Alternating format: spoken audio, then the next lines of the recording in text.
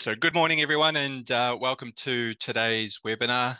Uh, today, we'll be covering the popular topic of data analytics for MYOB Advance.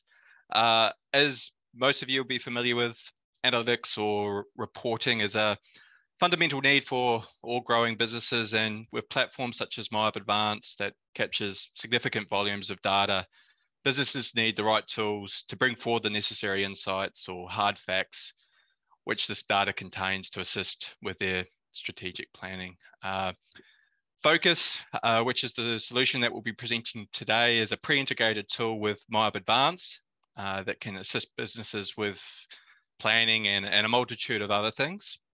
Uh, and uh, yeah, we'll be going through that today. Uh, quick intros of um, the individuals running today's webinar. My name is James Rodder. Uh, I'm the general manager of Leverage uh, MYOB, sorry, the MYOB advanced team at Leverage Technologies. Uh, I've been in ERP uh, for about 15 years across multiple platforms and industries. Uh, we also have Craig from Phocas, who'll be presenting the what, how, and why today, uh, who I'll be handing it over to shortly. Craig's been in the business for about 13 years, brings a breadth of experience across many systems and solutions and, industries as well. Uh, Leverage and Phocas have been working together for a number of years, providing solutions. Um, and over this time, we've had numerous success stories with our, our, mutual customers, and we would like to extend that success to, to your good selves. Uh, just some housekeeping uh, before I hand it over to Craig. Uh, we're aiming for the webinar to be 30 minutes long with a uh, Q&A session um, at the end. And regards to the Q&A, uh, please put any questions in the Zoom Q&A panel. Uh, you might need to turn it on um, and then you'll be able to just type some questions and we'll um, answer them at the end. Uh, we'll be also uh, recording this webinar.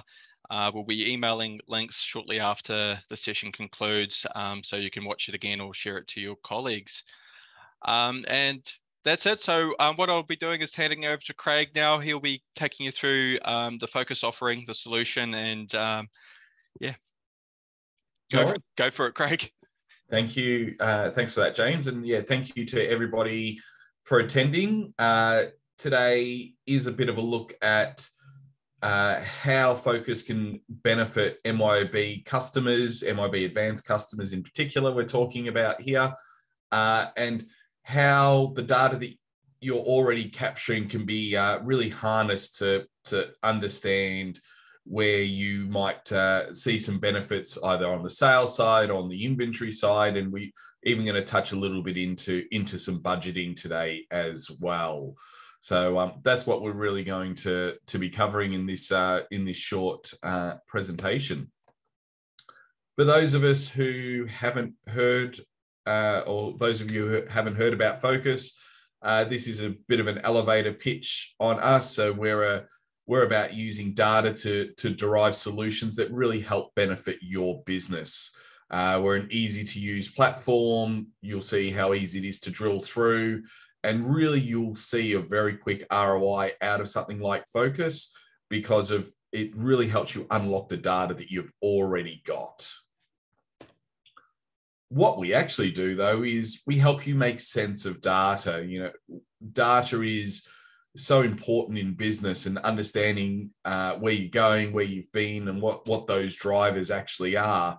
And what we're about at Phocas is is taking that that data that can be quite messy and disparate, and helping you sort and arrange that data, present it, but most importantly, explain the story that the data is trying to, to tell you, being able to pull all those pieces together because they don't always come from one source. They, you've got many parts to your business, and together they they tell a collective story, and that's really what Phocas is able to help you with. Who benefits from Phocas? Well, pretty much anybody in the business. It doesn't have to just be people in the office uh, that benefit from Phocas or the the C-suite in a business. It might actually be people working in the warehouse, or it could be people in uh, field services, or indeed actually the, the management team. It doesn't really matter who. We able to bring data in and govern that data to make it relevant to the to the appropriate person to make sure that they've got the data they need to um, to do their job. How we do that is through our Phocas solution. So today we're going to concentrate on the on the first two components that you can see here. Uh, there is a third component that is uh, a bit more for the technical uh, minded people in in your business, the ability to bring data together and um, and build it into a solution. But we won't have time today to go into that.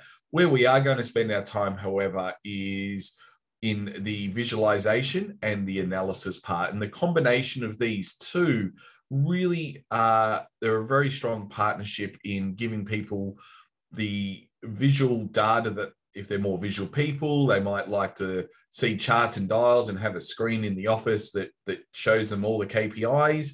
But then there's people that are more analytical or need that that more detail. They can drill through, and uh, you'll see that as we jump into the uh, into the demo.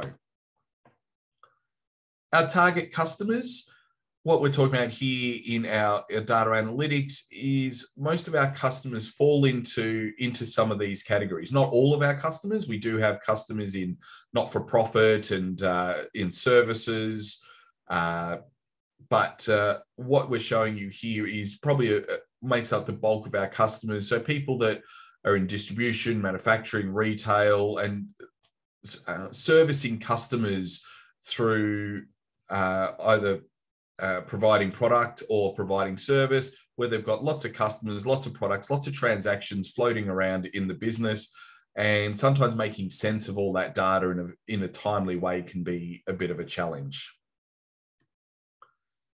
Uh, we, as a business uh, globally, we service uh, about two and a half thousand customers. In Australia, it's uh, floats around the 700 customer mark. Here are some uh, MYOB advanced customers that you uh, that you may know or names that you you might be aware of. Some of these customers have been using Focus for for many many years, and uh, will if you do know them, feel free to to speak to them. They should speak uh, very highly of us because what we uh, what we're going to show you today is how they're actually using it. So let's uh, let's jump in and uh, and show you what the what the solution actually does. So, like you saw in the slides, the the product is a cloud-based application, meaning just like advanced, you don't need to have any special software on your computer. You don't need to do anything special like that. You can simply log into um, on any internet-enabled device and access your your data.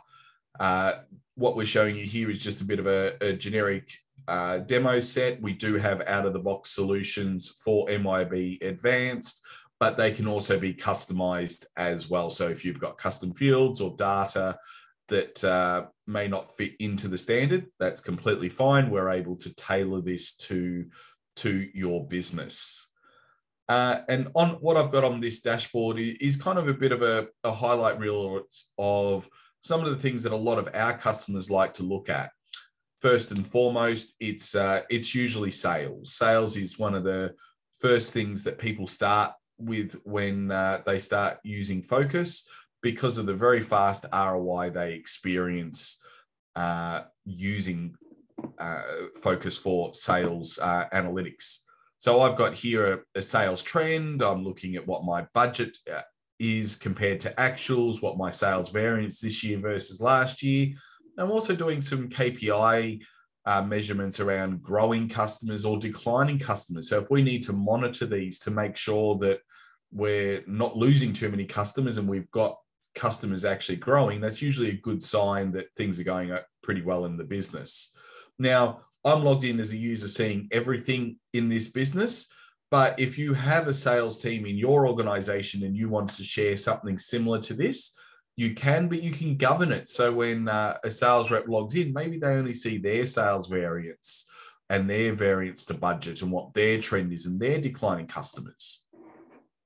You can also see it doesn't have to just be about sales. I've also got things like stock on hand and weeks cover and back orders and even stock out risks based on some uh, some calculations or rules we're able to determine not just what you're selling but how much you're holding how much coverage you have things like that now like we showed in the slides it's great to have a visual view but this doesn't serve uh, every purpose uh, in a business this might tell us something is interesting but we need to drill through to ask that next question and that's where these little analyze arrows uh, on every widget allow us to do. So if I click on one of these, what you'll see is it drills through into the actual analysis. We call this the analysis grid. This is where we can come and ask more questions of our data, not just what was on the dashboard. What you can see here is this year and last year and what the variances have been uh, month on month. I can change how much data I'm looking at. So if I'm just interested in the in the last three months, or excuse me, even just what happened last month, we can chop and change it, including selecting any bespoke period. So if we like to even look down to to days or weeks or whatever the case may be, you can uh, set this up as you see fit. Even if you're using fiscal calendars, uh, they can also be introduced into the platform. And everything I'm showing you here doesn't have to be done in a particular order. You can follow your train of thought through, excuse me, through um, through the data. And some of those basic questions, like, well, who are my customers and how much do they spend, is a click away. So I can see all my customers and their their spending habits uh, with me by uh, over the last 12 months, or I could roll that up into my salespeople. I've got a, quite a few salespeople in this business. I can see how they all contribute to that number. And maybe at this point, I'd actually like to see a comparison. So I want to see, well, I want to see growth by sales rep. And I can sort this and say, well, these are my, my reps that are growing really well. And maybe these are the reps that aren't doing so well. So I can start to see reps that maybe are struggling a little bit. So maybe I want to concentrate on some of these.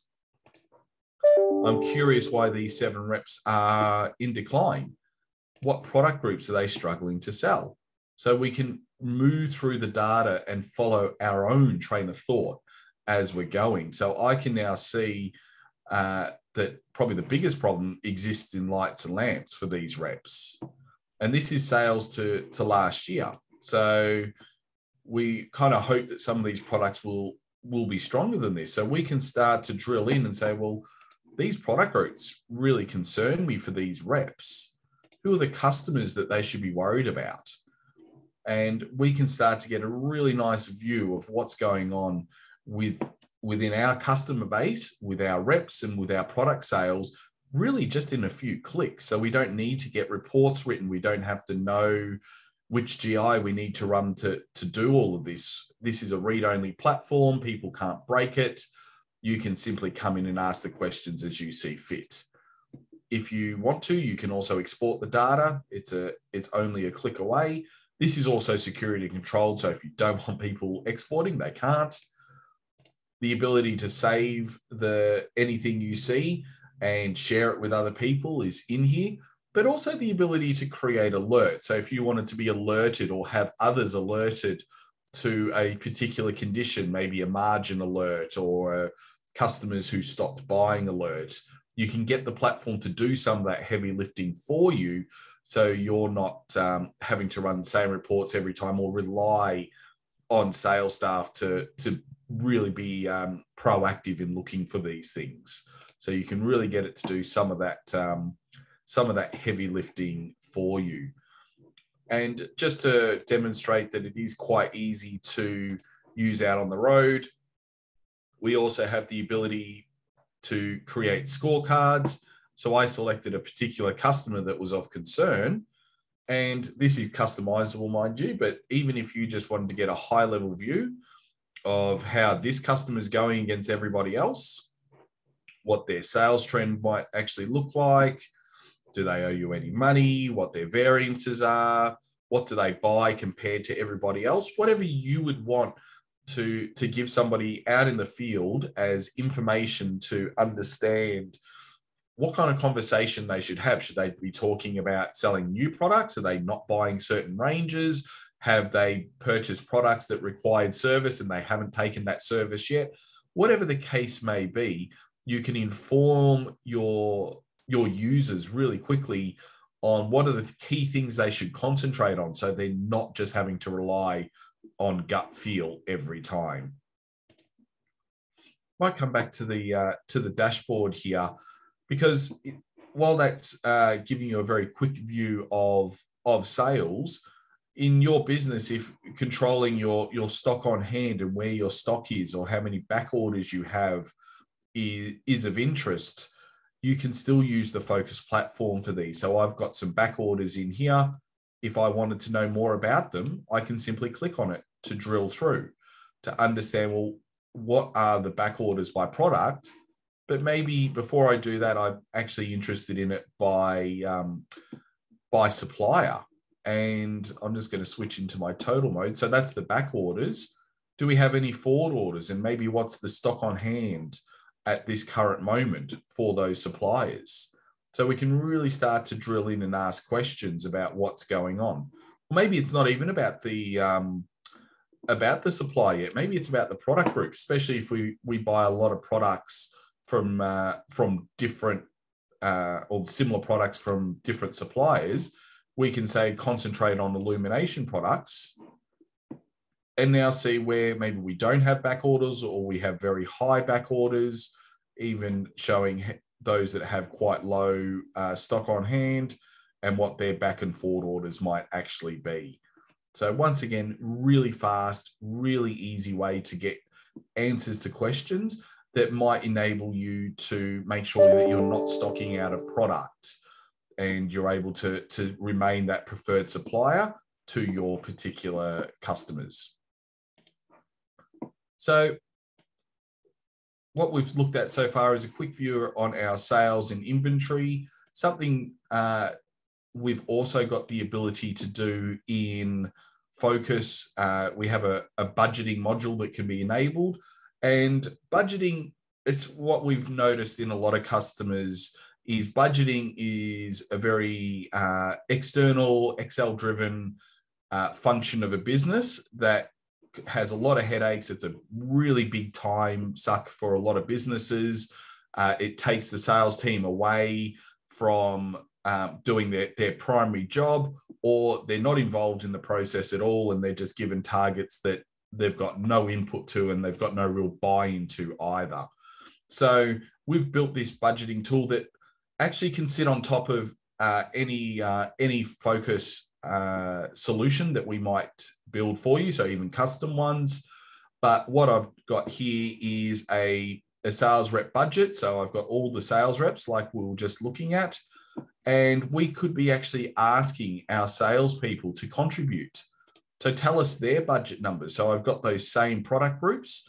You don't have to do it at a product group level. You might go even lower again than uh, than this, but you just for example purposes, you can see I've selected Shelley. At the moment, I'm in control of all of these lines, but I can actually select these and assign those over to the particular individual, either Shelley or Shelley's manager, to uh, to input those budget numbers. So it no longer is just uh, a function of one person and we don't have those issues around version control. We're able to maintain one version. But if we were Shelley and this was assigned to us and we're looking at our illumination products, we can actually come in and budget maybe not the dollars because salespeople might not think in dollars. Maybe we actually want to budget in units. How many are they planning to sell? of that particular product. So we can actually set out some some budget numbers in units. Uh, and we don't have to allow them to to change this, but maybe to hit the numbers we want to hit, we can't sell more, but we can adjust the unit price for those particular items. So we can make adjustments here. So if we wanted to to sell a thousand here, we can see what that does to the revenue number for Shelley we can see the margin sitting at, at 25. But if we were able to get $370 per unit, we can see what that will also do to the margin. So we've got a fixed cost. We know what the cost is, but we're now able to, to do this. And we can copy these forward. So we might expect to have that cost or that sale price uh, for the next three months. And we can make those adjustments. And maybe it drops down to, to 250 here. So we can see what that might actually do to, to my margins. It falls through the floor. So we can really see uh, what impacts very quickly and very directly we might be actually having on uh, on those margin numbers and giving people that uh, that accountability and input into uh, into this process. Once a budget has been built and we've got all those people contributing to it and we've got all the numbers flowing through it, this can also be published back. So it's not just stuck in a in a spreadsheet or even in our budgeting tool, but if I scroll back up, it can actually be feeding back into where your uh, where your team is measuring themselves against an actual budget. So no longer is it uh, something that needs to be uh, built and then only a few people look at. You can actually make sure that everyone's looking at it every single day when they log in to make sure that they know how they're tracking against their budget. So we can see uh, Shelley, who we're just clicking on, is only 1% above budget. And we can see if there were any gaps at that product group level. We could see that she's pretty comfortable across the board, but not uh, if this was a conservative budget, we're only 1% up on that particular budget.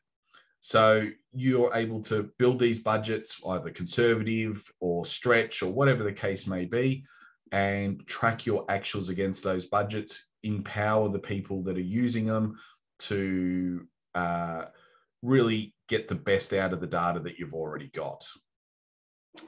Just conscious of uh, of time, but we might check if there's uh, there's any questions that have come through, James. Uh, yes, uh, a question did come through, and um, Scott answered it on the uh, Q and A panel. It was regarding pricing. Uh, obviously, when it comes to solutions, it's the cost of software and the services that get across the line. So the pricing can vary significantly, um, but you'll see on the panel it's been answered to to give some ballpark on what's what sort of investments involved. No worries. All right. So, like obviously the uh, the Q and A panel is um, open. If you do have any questions to ask uh, Craig around the Phocas solution or myself, um, please fire them through. Um, I guess while you're um, thinking of any questions, I'll, I'll, I'll pose some to Craig. Um, so, you know, with MYOB Advance, uh, especially if uh, a customer's recently gone live, um, not, mm-hmm. they're accumulating data on MYOB Advance, but they, they may have their legacy system that contains, you know, a wealth of, of data as well. Um, can, can Phocas connect to legacy systems or um, non-operational systems to do comparison reporting? Or? Yeah, we can. Absolutely, we can. So, you know, just for uh, context, globally, we're working with about 250 different ERP systems. So, we've got a lot of integrations for some of those legacy systems, even if it's something bespoke. You know, you're, you're coming off something that was internally built and you've moved to, to advanced. If that system is still accessible and uh, accessible could be there's an Excel spreadsheet of data that you want to bring in. We can bring that data into Phocas.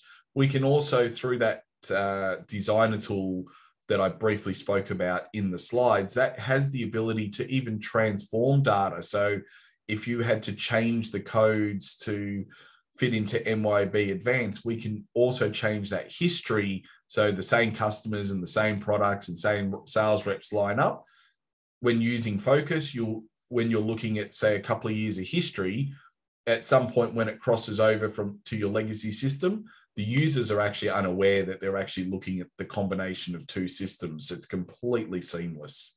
So you won't lose your history. You can maintain that very valuable data uh, inside Phocas. And in some cases it might mean that you don't need to maintain that legacy license or something like that to uh, just for the purposes of getting access to your data. You can just pop it in Phocas and um, and do away with that legacy system. Brilliant, brilliant. Um, I guess a, a, a recent topic um, with I guess Optus and, and alike, um, you know, data security. Um, obviously, this data is being um, hosted by Phocas, yes. um, and just understanding, um, I guess, the security measures that uh, Phocas has around. Yeah, absolutely. Data. You know, we we take it very very seriously. Uh, data security. So all Australian customers are hosted within Australia. We host through uh, Amazon Web Services or AWS for short. Uh, so we've got uh, 24 hour monitoring through through them. We also have our own uh, platform team within the Phocas business that are also monitoring it around the clock. Uh, we're a global business, so we're able to do that. We've got quite a long list of uh, security credentials. We've got SOC compliance and ISOs and all the numbers you can uh, you can imagine. But uh, we take it very very seriously uh, as a business. Uh, we throw a lot of resource at it to make sure that people's data is secure. Uh, to and hosting it all in Australia and not having it overseas is you know very important to us as well. So we're able to meet those both defence and medical um, suppliers that have those um, you know government requirements of where data needs to be stored. We're able to meet all of those requirements. Okay, brilliant, brilliant. Um, we still don't have any more questions from the attendees. Um, I'll fire one more question and then we'll see, um, and then we'll wrap things up. So obviously with MYOB Advanced in the ERP system, financial, sales, purchasing data, yeah. is there any other types of uh, systems or data sets that Phocas can analyze? E-commerce solutions, operational mm-hmm. systems, just a spreadsheet sitting on the side. Yeah. You know, can they? Can that also be uh, digested by uh, by Phocas? Yes, it can, and uh, and quite commonly as well. So, kind of similar to the multiple uh, source question. Uh, the beauty with, I guess, the uh, you know the data that's in MYOB, a lot of the linking and everything already exists. So a, a very common um, solution sits around that kind of finance piece. So being able to look, produce multiple uh, financial statements and being able to share those, having that same level of governance, because there might be people who need access to it that may not be MYB users, like auditors or something like that. So you have that ability to share data externally if you want to in a very uh, secure and governed way. Uh, a common one is CRM data. So if you're using something like a, a Salesforce or a HubSpot or something like that to uh, to measure your sales or manage your sales team, that data can also be uh, introduced into Phocas. So it doesn't have to just be ERP data. Brilliant. I think there might be a question that came through as well. Uh, uh, a question regarding the recording. Yes, uh, this session is being recorded um, and we'll upload it onto YouTube and send everyone links, um, hopefully within the next 24 hours or so. Awesome. All right. So yeah, we're running out. We've run out of time. So Craig, thanks for taking us through Phocas. Um, for those who attended and are watching it later, please, um, if you've got any questions, if there are specific requirements that you would like to discuss with Craig or the Phocas team, contact them on the email address or phone. Otherwise, um, contact um, the Leverage team through our help desk and we'll, we'll pass on the necessary information. So thanks for everyone for uh, jumping on today's webinar. Um, I hopefully, hopefully you found it enlightening um, and enjoy the rest of your day. Thank you, everybody. Thanks, Greg. Thanks, everyone.